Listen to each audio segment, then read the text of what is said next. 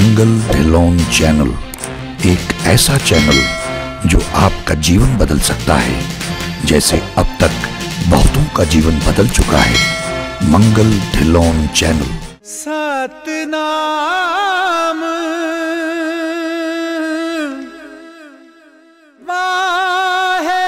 ਵਾਹਿਗੁਰੂ ਵਿਸਾਖੀ ਦੇ ਮੇਲੇ ਤਿਉਹਾਰ ਦੇ ਉੱਤੇ ਬਰੇਲੀ ਸੰਗਤਾਂ ਨੇ ਪ੍ਰਚਾਰ ਕਰਨ ਵਾਸਤੇ ਬੁਲਾਇਆ। ਜਦੋਂ ਦਾਸ ਨੇ ਜਾ ਕੇ ਉੱਥੇ ਕਥਾ ਕੀਤੀ, ਹਰਮੰਦਰ ਸਾਹਿਬ ਜੀ ਦੀ ਵਡਿਆਈ ਦੀ ਕੋਈ ਬਾਤ ਕਹੀ ਤੇ ਇੱਕ ਬੀਬੀ ਸੰਗਤ ਵਿੱਚੋਂ ਉੱਠ ਕੇ ਉਸ ਬੀਬੀ ਦੀ ਉਮਰ ਤਕਰੀਬਨ 45 ਕੁ ਸਾਲ ਦੇ ਕਰੀਬ ਹੋਵੇਗੀ ਉਹ ਉੱਠ ਕੇ ਰੋਣ ਲੱਗ ਪਈ। ਕਥਾ ਦੀ ਸਮਾਪਤੀ ਹੋਈ, ਮੈਂ ਪੁੱਛਿਆ, ਬੀਬਾ, ਤੂੰ ਕਿਉਂ ਰੋ ਰਹੀ? ਕਾਰਨ ਕੀ ਹੈ? ਉਸ ਨੇ ਆਪਣੀ ਸਾਰੀ ਵਿਥਿਆ ਦੱਸੀ। ਕਹਿਣ ਲੱਗੀ, ਭਾਈ ਸਾਹਿਬ ਜੀ, ਮੇਰਾ ਨਾਮ ਗਿਆਨ ਕੌਰ ਹੈ। ਮੇਰਾ ਘਰ ਸ੍ਰੀ ਗੁਰੂ ਸਿੰਘ ਸਭਾ ਦੇ ਬਿਲਕੁਲ ਨਜ਼ਦੀਕ ਹੈ। ਮੈਨੂੰ ਕੈਂਸਰ ਦਾ ਰੋਗ ਸੀ ਔਰ ਰੋਗ ਵੀ ਅਖੀਰਲੀ ਸਟੇਜ ਤੇ ਪਹੁੰਚ ਚੁੱਕਿਆ ਸੀ। ਮੇਰੇ ਪਰਿਵਾਰ ਨੇ ਮੈਨੂੰ ਹਸਪੀਟਲ ਦੇ ਵਿੱਚ ਐਡਮਿਟ ਕਰਵਾ ਦਿੱਤਾ। ਡਾਕਟਰਾਂ ਨੇ ਕਿਹਾ ਕਿ ਇਹਦਾ ਆਪਰੇਸ਼ਨ ਕਰੀਏ, ਸ਼ਾਇਦ ਕੋਈ ਸਮਾਂ ਇਹ ਬਚ ਜਾਏ। ਆਪਰੇਸ਼ਨ ਕਰਨ ਵਾਸਤੇ ਸਾਰੀ ਤਿਆਰੀ ਕੀਤੀ ਗਈ। ਮੇਰੇ ਮਨ ਵਿੱਚ ਖਿਆਲ ਆਇਆ ਕਿ ਮੈਨੂੰ ਕੈਂਸਰ ਦਾ ਰੋਗ ਮੈਂ ਬਚਣਾ ਤੇ ਹੈ ਨਹੀਂ। ਇਸ ਕਰਕੇ ਆਪਰੇਸ਼ਨ ਕਰਾਉਣ ਦੀ ਜ਼ਰੂਰਤ ਨਹੀਂ ਹੈ।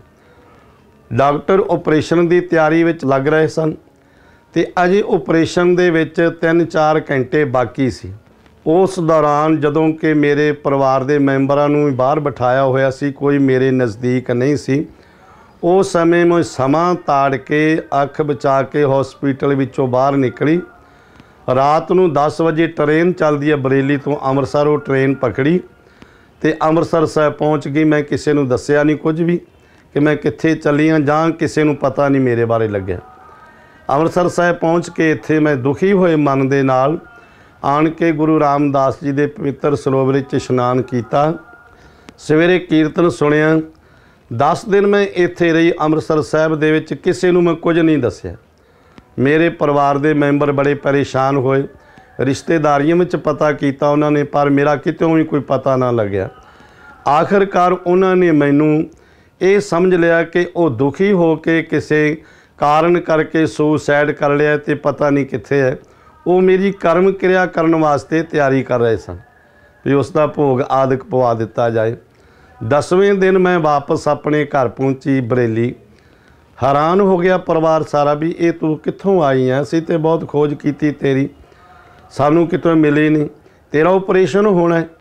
ਤੇ ਉਹ ਕਹਿਣ ਲੱਗੀ ਕਿ ਮੈਂ ਕਿਤੇ ਨਹੀਂ ਗਈ ਸੀ। ਮੈਂ ਤੇ ਸ੍ਰੀ ਅੰਮ੍ਰਿਤਸਰ ਸਾਹਿਬ ਗਈ ਸੀ। ਉੱਥੇ 10 ਦਿਨ ਰਹਿ ਕੇ ਆਈ ਆ। ਤੇ ਉਹ ਕਹਿਣ ਲੱਗੇ, ਚਲੋ ਆਪਰੇਸ਼ਨ ਕਰਾਉਣਾ ਡਾਕਟਰ ਕਹਿਣ ਲੱਗੇ ਵੀ ਹੁਣ 10 ਦਿਨ ਬਤੀਤ ਹੋ ਗਏ ਨੇ। ਇਹਦੇ ਸਾਰੇ ਟੈਸਟ ਦੁਬਾਰਾ ਕਰਨੇ ਪੈਣਗੇ। ਦੁਬਾਰਾ ਟੈਸਟ ਕਰਕੇ ਫਿਰ ਇਹਦਾ ਅਗਲਾ ਇਲਾਜ ਸ਼ੁਰੂ ਹੋਵੇਗਾ। ਜਦੋਂ ਉਹ ਸਾਰੇ ਡਾਕਟਰਾਂ ਨੇ ਮੇਰੇ ਦੁਬਾਰਾ ਸਾਰੇ ਜਿਤਨੇ ਟੈਸਟ ਸੀ, ਉਹ ਟੈਸਟ ਮੇਰੇ ਜਦੋਂ ਦੁਬਾਰਾ ਉਹਨਾਂ ਨੇ ਕੀਤੇ ਤੇ ਡਾਕਟਰ ਕਹਿਣ ਲੱਗੇ ਵੀ ਇਹ ਤਾਂ ਰੋਗੀ ਨਹੀਂ ਹੈ। ਇਹ ਪੇਸ਼ੈਂਟ ਨਹੀਂ ਜਿਹੜਾ ਤੁਸੀਂ ਲੈ ਕੇ ਆਏ ਹੋ, ਪੇਸ਼ੈਂਟ ਜਿਹੜਾ ਉਹ ਲੈ ਕੇ ਆਓ। ਉਹ ਕਹਿਣ ਲੱਗੇ ਪੇਸ਼ੈਂਟ ਉਹੀ ਹੈ। ਉਹ ਕਹਿੰਦੇ ਹੋ ਨਹੀਂ ਸਕਦਾ। ਉਹ ਪੇਸ਼ੈਂਟ ਕੈਂਸਰ ਦਾ ਮਰੀਜ਼ ਹੈ। ਇਹ ਬਿਲਕੁਲ ਤੰਦਰੁਸਤ ਹੈ। ਇਹਦੇ ਵਿੱਚ ਤਾਂ ਕੋਈ ਰੰਚਕ ਮਾਤਰ ਵੀ ਐਸਾ ਕੀਟਾਣੂ ਨਹੀਂ ਕੈਂਸਰ ਦਾ ਜੋ ਇਹਦੇ ਸਰੀਰ ਵਿੱਚ ਹੋਏ। ਮੈਂ ਵੀ ਹੈਰਾਨ, ਪਰਿਵਾਰ ਵੀ ਹੈਰਾਨ, ਡਾਕਟਰ ਵੀ ਹੈਰਾਨ। ਉਹ ਕਹਿਣ ਲੱਗੇ, ਬੀਬਾ ਸੱਚ ਦੱਸ ਕਿ ਇਲਾਜ ਕਿੱਥੋਂ ਕਰਾਇਆ ਸਾ ਤੇ ਸਫਲ ਇਲਾਜ ਇੰਡੀਆ ਵਿੱਚ ਹੈ ਹੀ ਨਹੀਂ ਅਜੇ ਤੱਕ। ਉਹ ਕਹਿਣ ਲੱਗੀ, ਮੈਂ ਜਿੱਥੋਂ ਇਲਾਜ ਕਰਾਇਆ ਹੈ, ਸ਼ਾਇਦ ਉਥੋਂ ਉਹਨਾਂ ਨੇ ਕੋਈ ਮੇਰੀ ਹਫ- ਹਿਫਾਜ਼ਤ ਕੀਤੀ, ਮੇਰੀ, ਉਹਨਾਂ ਨੇ ਮਦਦ ਕੀਤੀ, ਹੈਲਪ ਕੀਤੀ। ਇਲਾਜ ਤਾਂ ਮੈਂ ਕਿਤੇ ਨਹੀਂ ਕਰਾਇਆ। ਸਗੋਂ ਜਿਹੜੀ ਮੈਂ ਪਹਿਲੇ ਦਵਾਈ ਲੈਂਦੀ ਸੀ, ਬੰਦ ਕਰ ਦਿੱਤੀ। ਮੈਂ ਸਿਰਫ ਸਿਰਫ ਜਾ ਕੇ ਇਸ਼ਨਾਨ ਕੀਤਾ ਹੈ। ਜਲ ਛਕਿਆ ਪਵਿੱਤਰ ਸਰੋਵਰ ਦੇ ਵਿੱਚੋਂ ਤੇ ਬਾਣੀ ਸੁਣੀ, ਹੋਰ ਕੋਈ ਇਲਾਜ ਨਹੀਂ ਹੈ। ਡਾਕਟਰ ਵੀ ਹੈਰਾਨ ਹੋ ਗਏ ਵੀ ਇਤਨੀ ਕਰਾਮਾਤ, ਇਤਨਾ ਕ੍ਰਿਸ਼ਮਾ ਅਜੇ ਤੱਕ ਅਸੀਂ ਕਦੇ ਨਾ ਸੁਣਿਆ ਤੇ ਨਾ ਦੇਖਿਆ। ਉਹ ਬੀਬੀ ਗਿਆਨ ਕੌਰ ਅਜੇ ਵੀ ਹਰ ਸਾਲ 10 ਦਿਨ ਆਣ ਕੇ ਸੇਵਾ ਹਰਮੰਦਰ ਸਾਹਿਬ ਕਰਦੀ ਹੈ। ਇੰਨੀ ਗੁਰੂ ਦੀ ਬਖਸ਼ਿਸ਼ ਹੈ। ਗੁਰਪੁਰੈ कृपा करी।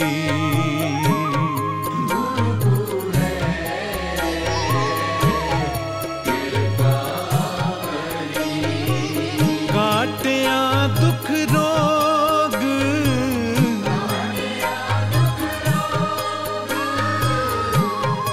मन तन शीतल सुखी पया।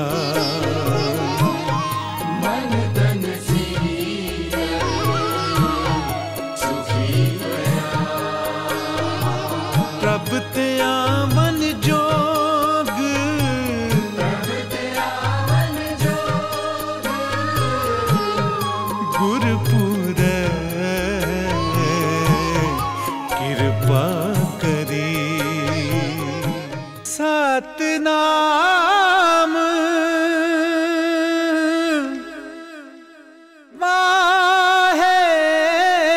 गुरु।